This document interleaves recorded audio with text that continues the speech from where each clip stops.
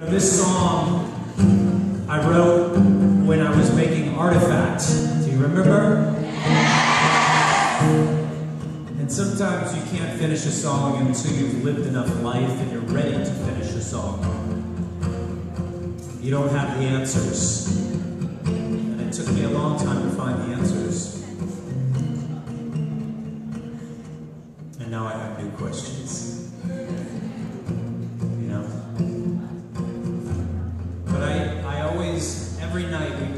Song on stage, even if I'm having a show and it's not the best show and I'm not feeling good, when this song comes, for some reason,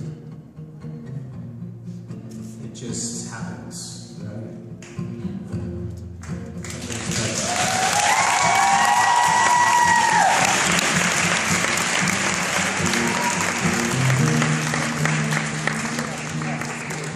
It was true.